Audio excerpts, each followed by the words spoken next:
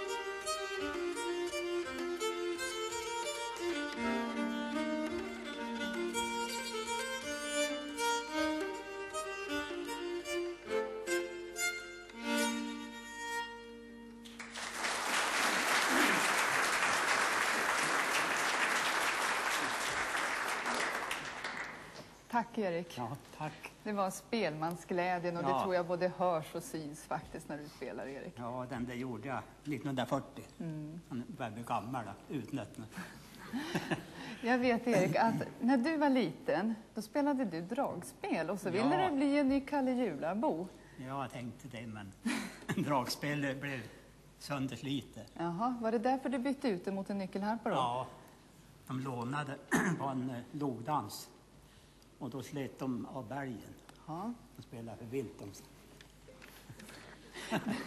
Den första nyckelharpan som du spelade på det var ett gammalt instrument. Ja, det var som där eh, med, eller runda ljudhål här då. och så var det mycket enklare, sån där silverbasharpa. Så de kunde man ju inte spela som på de här inte. Nej. Så många tonarter. Mm. Och det du gjorde då det var att eh, konstruera en bättre harpa. Ja, jag var ju ihop med Bolin och August Bolin. Och sådär då. Bolin, Och han, och han hade gjort en lite utvecklad så här. ja, Bolin det var ju en väldigt känd Ja, spelman.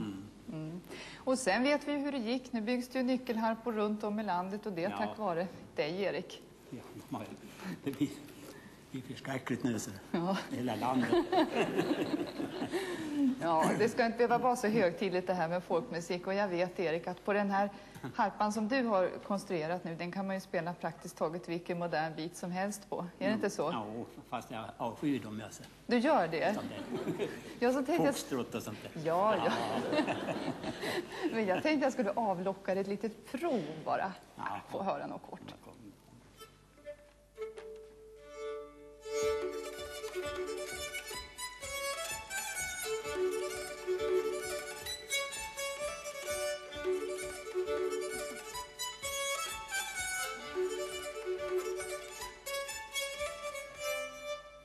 Tack.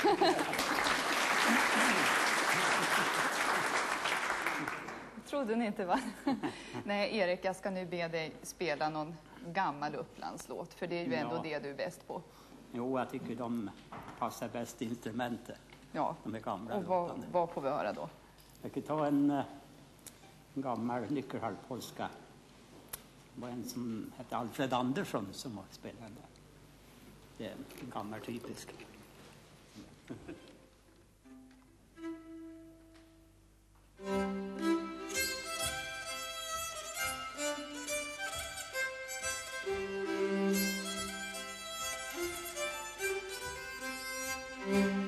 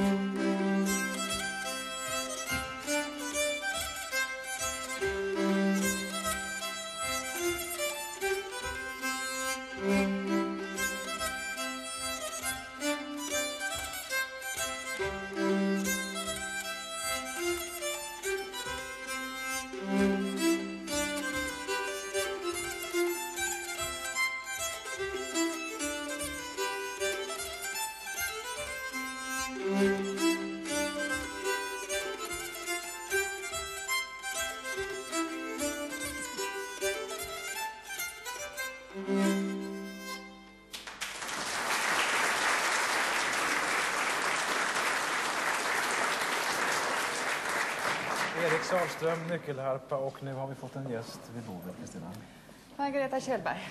Och då ska det förstås handla om visor. Ja, Ja.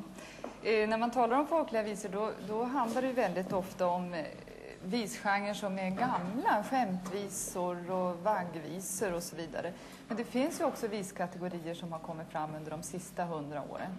I slutet av 1800-talet då blev de här eh, långa, lite sentimentala visorna populära. Och texterna till de visorna trycktes ofta i skillingtryck, om man brukar kalla dem för skillingtrycksvisor. Ja, ja. Även om det inte är en genre i sig. nej.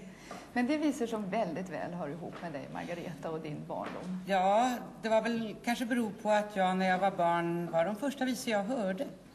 Det sjöngs mycket i stugorna och jag var intresserad och road. Och eh, jag tyckte många gånger att många av de här visorna var lika spännande som när man sedan gick på bio eller cirkus. Det var ju ofta med varierande innehåll och ofta sorgliga. Man fick gråta och skratta om vartannat. Och eh, jag tänkte att jag skulle sjunga en riktigt sorglig visa. Ja, den visa som Margareta kommer att sjunga här, det är ju en sån här riktigt typisk eh, visa från tiden. Ja, från min ungdom. Ja, och eh, den är alltså från slutet av 1890-talet, mitten av 1890-talet rättare sagt. Och eh, det är en visa vars upphovsman man faktiskt inte känner till. Vi hoppas få gråta lite grann då. Ja, det är en mycket, mycket sorglig visa. Jag tror att det är en av de visor som jag har gråtit mest åt i mitt liv. Och den heter Den späda martyren. Lyssna nu, jag vill berätta om en liten späd martyr som med Jesus i sitt hjärta var ett ljus som klippans fyr. Hon i söndagsskolan lärde älska Jesus frälsaren och hon sjöng med lust och glädje. Jag är glad, han är min vän.